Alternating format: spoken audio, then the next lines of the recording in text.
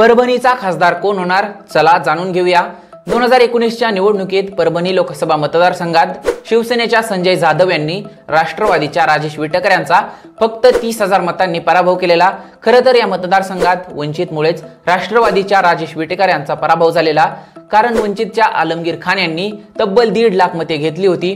दोन हजार चारपासून शिवसेना विरुद्ध राष्ट्रवादी अशी लढत या मतदारसंघात होत आली आहे. पण यावेळी शिवसेना आणि राष्ट्रवादी दोन्ही पक्षांचे उमेदवार लढणार नाहीयेत.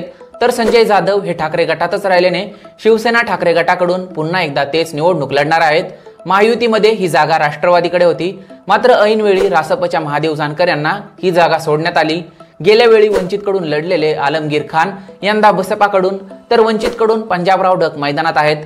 चौरंगी लढत होत असलेल्या मतदारसंघात यंदा खासदार कोण होणार ते आम्हाला कॉमेंट करून नक्की सांगा आणि आपल्या चॅनेलला सबस्क्राईब करायला विसरू नका.